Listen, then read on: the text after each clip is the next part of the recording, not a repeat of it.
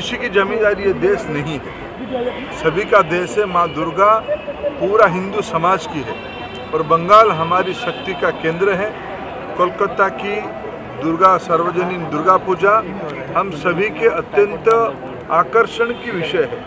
बंगाल की कला संस्कृति सभ्यता को दुनिया में दिखाने का दायित्व तो सभी का है।